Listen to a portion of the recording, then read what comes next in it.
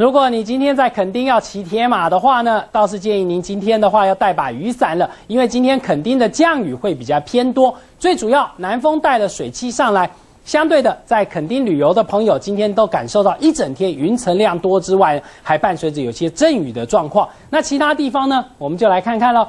中部以北阳光露脸，现在北部气温到了二十八度，中部地区在二十七。往南走，南部地区现在是云层量比较偏多，气温在二十七度。到了东半部地区的天气状况来说，在二十六度。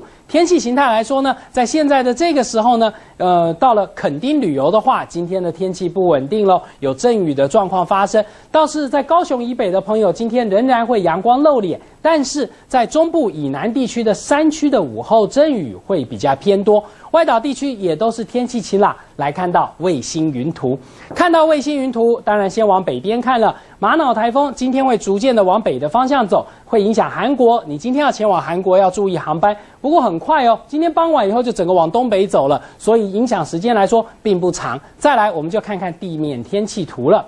从地面天气图上可以注意到太平洋高压了。哎，这高压最近影响日本哦，日本连续好多天都是高温三十九度的天气嘞。不过高压还没有到我们台湾上空，相对的，我们今天是在南边的一个小的低气压影响之下，南边的低压带上来的水汽，使得在高雄以南，在包含了屏东跟恒春半岛，云层量多之外，有阵雨的状况发生。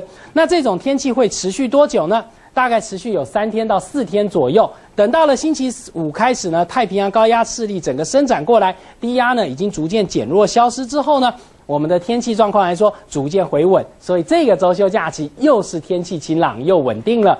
接着来看看今天的温度了。先注意到高温的部分，北部地区三十四度，外出防晒不可少。哎，还有中午很热哦，记得要多喝水。到了中部地区呢，会有些午后阵雨，山区部分多，平地偏少。高温三十三。